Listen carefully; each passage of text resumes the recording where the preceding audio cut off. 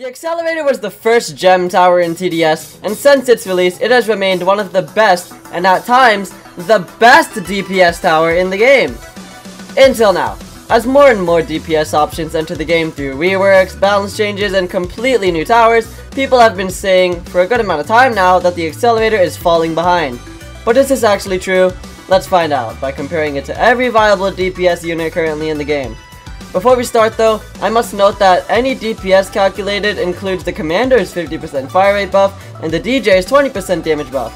It's highly unlikely that you aren't using these in your matches, so I will be including them as a given in calculating Tower's DPS. I'm not really factoring in detections too much either, so anyways, let's get back to it. Let's first start with the turret. The turret's max total DPS with the Commander and DJ is 2250 and it has a pretty insane range of almost 30 with DJ's 12.5% range buff. It also has no charge up or complicated mechanics, it is just raw DPS which makes it very reliable beside the fact that it has no stun immunity. With a placement limit of 3 as well, the limit being pretty low gives you more tower slots to use too. Comparing this to Accelerator's 3200 max DPS, the Accelerator at first seems better, but you also have to factor the accelerator's annoying charge up, slower range of 22.5, and much higher placement limit of 8. Even if the accelerator has almost 50% more max DPS than the turret, it is also a good amount more expensive, with the turrets being around 300k to get them all down, and the accelerators being around 400k. It's a close battle, but I'll give the edge to the turret here. It is just much more reliable in so many situations that even if Accelerator has that much more DPS than it, it just gets cancelled out by the other factors. So, there we go, Accelerator has already lost one. Next, let's analyze the Ranger. The Ranger has a max DPS of 2,289 when all of them are placed down. It has map range and complete stun immunity as well. There is also slight splash DPS that helps it out as well, along with the 7 placement limit.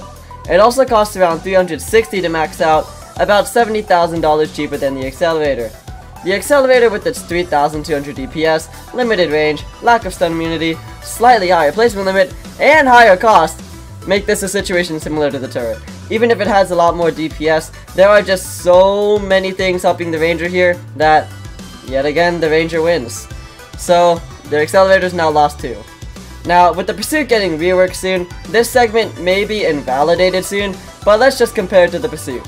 The Pursuit's max DPS is around 2,737, and its range is pretty big, but the targeting is unreliable at times, so I'll give the point of range to the Accelerator this time. However, the Pursuit does also have stun immunity. With the Pursuit costing around 450k to max out, it's actually a little bit more expensive than the Accelerator as well. And the conclusion? I'm actually giving this round a draw. The Accelerator has more reliable range, more DPS, and is cheaper, but the Pursuit's stun immunity and overall bigger range are pluses to it as well. So it really just depends on the situation for this one. Now what about the Golden Minigunner? The Golden Minigunner's max DPS is an insane 5,837, the highest max total DPS of a tower in the game. But there are a lot of drawbacks to this. The placement limit of 15 is super high, leaving little room for other tower slots and placement on map. There's no stun immunity, it costs 570k to max them all out, and they even have a lower range of only about 20 with the DJ. Comparing this to the Accelerator, what is better? I'd say it's a draw yet again. On certain maps and in lower player counts, the Golden Minigunner can do wonders for the player with this insane amount of DPS, but the Accelerator's higher range and lower placement limit prove more reliable on harder maps than higher player counts. It yet again depends on the situation, so there's another draw for the Accelerator. But how about the famous rival to the Accelerator? The only other hardcore tower for a long time, the Engineer. Well, there's not really a competition here.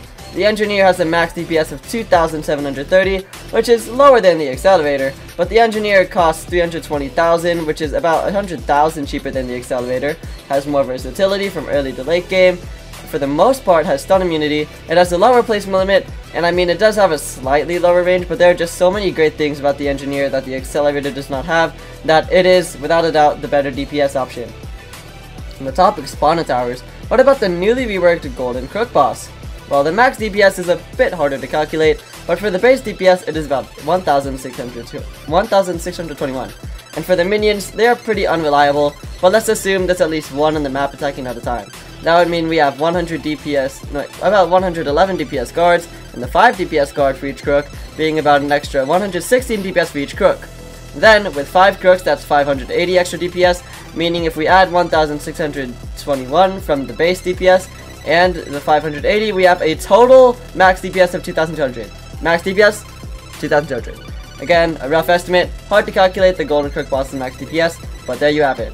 Anyways, enough with that segment. The Golden Crook boss is actually pretty cheap to get maxed out, only being 194k total, but it also has a pretty low range and is threatened a lot by stuns that also kill its minions. Due to just the unreliability here of the Golden Crook boss, I do have to say that the Accelerator is the better DPS option here for once. Now just two more to compare before we're done with this. The Brawler and the new Gatling Gun. For the Gatling Gun, I don't think it really needs to be compared at the moment. The Gatling Gun is no judgment the best DPS in the game right now. But what about the Brawler? Calculating the DPS for this one was pretty challenging as well, but the final number I came up with was that its total combo does 600 damage, and it can complete this combo after about 0.682 seconds with a cooldown of 0.5. So 600 damage every 1.182 seconds would be a DPS of 507.6, and with 6 brawlers, its total DPS would be 3045.6. A rough estimate, but that's actually pretty close to the Accelerator's max DPS. Anyways, let's also assume that since the Brawler is a melee tower, it but it can be relocated, let's say that it's attacking bosses maybe 60% of the time. I mean, it depends on how fast the boss moves, but let's say it's just attacking bosses 60% of the time and its boss DPS is 1800. So anyways, with the DPS out of the way, there are also many pros to the Brawler, like stun immunity, knockback, a cheaper max price of 165,000, a smaller placement hitbox, technically infinite range, and a somewhat low placement limit of 6. There's also the fact that you won't have to spend money to micro it when needed, which is awesome too. With that many pros of the Brawler, I think even if its boss DPS can be low, I think it's safe to say that it's definitely better than the Accelerator. So, out of those 8 DPS towers, the Accelerator was better than 1, the Golden Crook boss, it tied with 2, being the Pursuit and Golden Minigunner, but it was beat by 5, being the Turret, Ranger, Engineer, Gatling Gun, and Brawler. Now answering the question from the title, has Accelerator actually fallen off in TDS? Yes, yes it has.